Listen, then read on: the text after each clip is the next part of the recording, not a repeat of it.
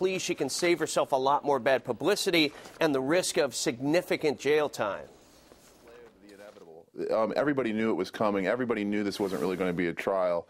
Thanks to the amount of surveillance tape allegedly showing Casey Anthony writing checks with her best friend's money and without her permission, Orlando defense attorney Richard Hornsby says Casey would surely lose her upcoming bank fraud trial. He's not surprised to hear talk a plea deal is in the works. She has little to gain by, by going to trial because she doesn't have a valid defense. By pleading guilty to an unknown number of 13 felony fraud counts currently against her, Hornsby says Casey will surely receive a lighter sentence from Judge Stan Strickland. Casey Anthony gets peace of mind knowing that she's not exposing herself to you know 60 plus years in, in prison, so to speak, if Judge Strickland were really to go hard on her.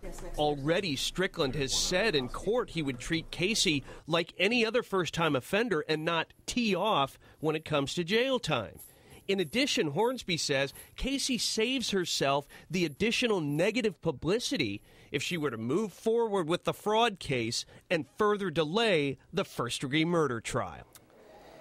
And if Casey admits to multiple felony counts of fraud, Hornsby says that will help prosecutors in the murder trial.